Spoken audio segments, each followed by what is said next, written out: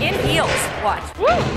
Hey, tomorrow, Throwback Thursday. Uh, we're also celebrating Father's Day a little bit early, so send us your pictures of your dad, maybe your stories about your dad. Use the hashtag 12newsdads. My doc, my doctor, my dad called it soccer, not football.